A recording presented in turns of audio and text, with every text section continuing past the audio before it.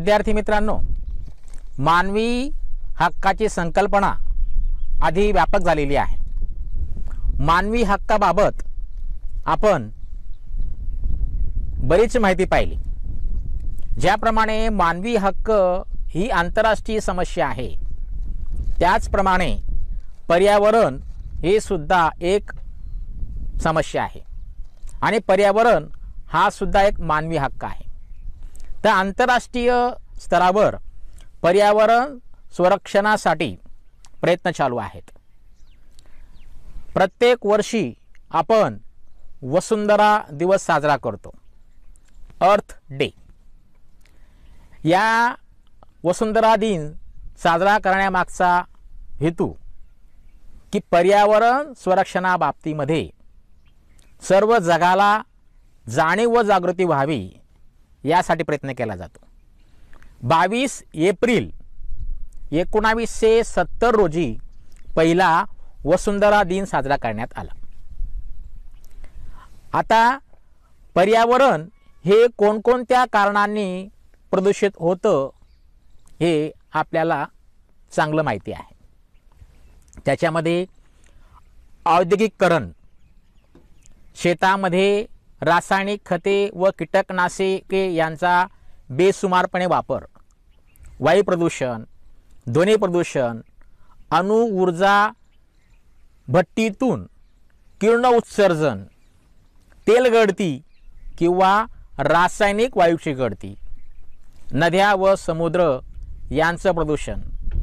हे सगळं प्रदूषण विविध कारणांनी घडतंय आणि त्यामुळे पर्यावरणाचा जो समतोल आहे हा समतोल पूर्णपणे बिघडलेला आहे.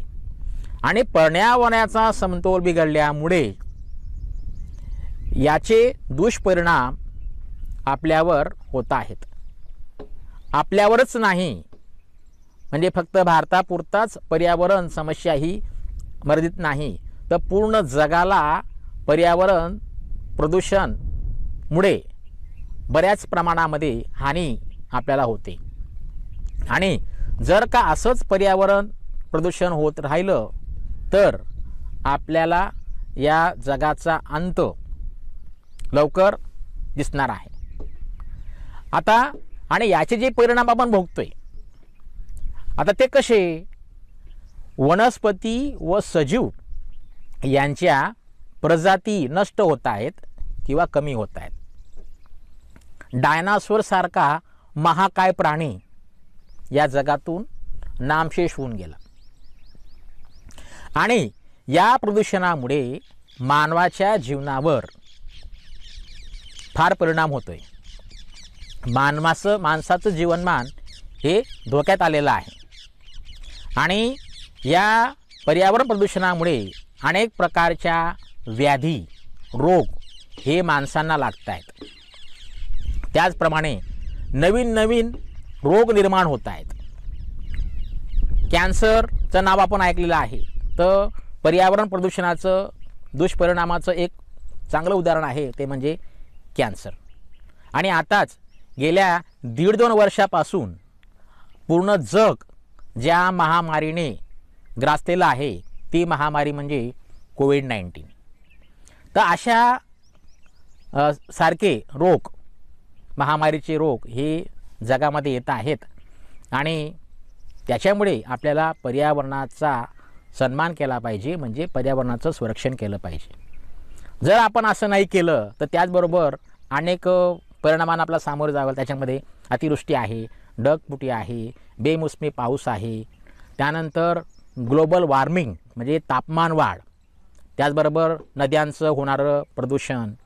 त्यानंतर ओझोन वायू जो आहे तो हळूहळू त्याची पातळी कमी होते किंवा तो विरळ होते आणि ह्या ओझन वायू कमी पातळी कमी झाल्यामुळे आपल्या पृथ्वीवरचं हे तापमान वाढतंय आणि त्याचे परिणाम आपल्याला भोगावे लागत आहेत.